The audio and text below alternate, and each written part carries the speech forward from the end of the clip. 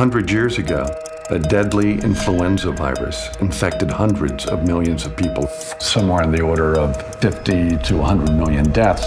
When we talk about another flu pandemic happening, it's not a matter of if, but when a new strain of bird flu. This is definitely one of the most lethal influenza viruses that we have seen so far. It just takes one person to start an outbreak. It will leave its mark. The result would be hundreds of millions of people that would likely die. That's why I do what I do.